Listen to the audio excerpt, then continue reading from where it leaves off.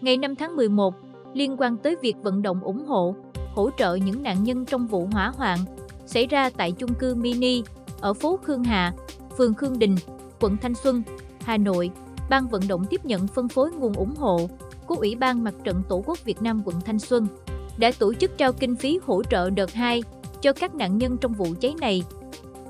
Theo đó, đợt 2 thực hiện hỗ trợ bắt đầu từ ngày 5 tháng 11 gồm hỗ trợ cho người sống trong tòa nhà là 89,6 tỷ đồng.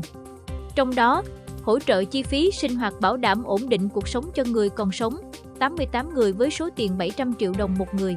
Tổng số tiền hỗ trợ là 61,6 tỷ đồng. Hỗ trợ 56 người là thân nhân của người tử vong đứng ra thờ cúng với số tiền 500 triệu đồng một người.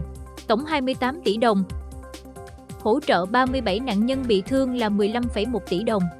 Trong đó, 3 người bị thương phải điều trị tại bệnh viện từ 3 đến 7 ngày với số tiền 300 triệu đồng một người, với tổng số tiền 900 triệu đồng.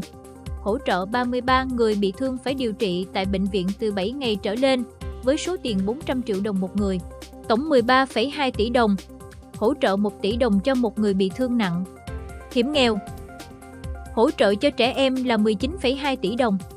Trong đó, hỗ trợ sổ tiết kiệm cho một trẻ mồ côi cả cha và mẹ 2 tỷ đồng, hỗ trợ sổ tiết kiệm cho trẻ mất cha hoặc mẹ cho 4 cháu, với số tiền 1 tỷ đồng một cháu, tổng số tiền 4 tỷ đồng, hỗ trợ sổ tiết kiệm cho trẻ dưới 16 tuổi, có cha, mẹ còn sống là 22 cháu, số tiền 600 triệu đồng một cháu, tổng số tiền 13,2 tỷ đồng.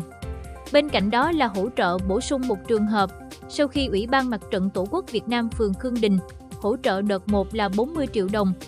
Tổng số tiền kinh phí hỗ trợ đợt 2 là 123,94 tỷ đồng. Trước đó, trong đợt 1, Ủy ban Mặt trận Tổ quốc Việt Nam thành phố Hà Nội và quận Thanh Xuân đã trích từ nguồn ủng hộ các nạn nhân trong vụ hỏa hoạn, hỗ trợ hơn 6,12 tỷ đồng. Trong đó, Ủy ban Mặt trận Tổ quốc Việt Nam thành phố Hà Nội hỗ trợ 406 triệu đồng. Ủy ban Mặt trận Tổ quốc Việt Nam phường Khương Đình hỗ trợ hơn 5,72 tỷ đồng cho 143 người sống trong tòa nhà, số tiền 40 triệu đồng một người. Như vậy, tổng số tiền trao hỗ trợ đợt 1 và đợt 2 là hơn 130,1 tỷ đồng.